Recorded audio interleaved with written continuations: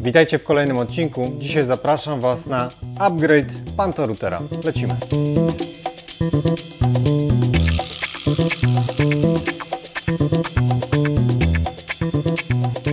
Moja sterownica zastawiona jest, słuchajcie, w punkcie centralnym sam Pantorouter. Nie widzieliście go ostatnio w pracy, ponieważ nie ma tutaj, jak widzicie, wrzeciona. Jest to puste miejsce, ponieważ wrzeciono wodne wylądowało z powrotem do CNC, a tutaj nie miałem, jeszcze nie miałem co zamontować. Ale zadziałałem również w tym temacie i wybór padł na... E, tutaj jest torba pełna niespodzianek. Torba pełna niespodzianek, ponieważ jest tutaj serce, które będziemy zaraz mocować. Frezarka AEG i to jest frezarka cylindryczna, czyli taka, jaka jest no, w, w sumie jedyna opcja na razie, żeby zamocować do Pantoroutera. 1400 W, więc spora moc. Już tutaj wyciągam. No dalej. Hmm. W sumie, o właśnie, jest. Wyszło. Czyli taką frezarkę zaraz będziemy tam mocować, ale żeby zamocować to wrzeciono e, w pantorouterze, to muszę również wymienić to, te obejmy mocujące. I w tym temacie również zadziałałem. Paczka prosto z Japonii. Cool Deep, czyli autor tej wersji aluminiowej Pantoroutera, przysłał mi dwa mocowania właśnie dedykowane do wrzeciona AAG. 91,8 mm. Pięknie pograwerowane.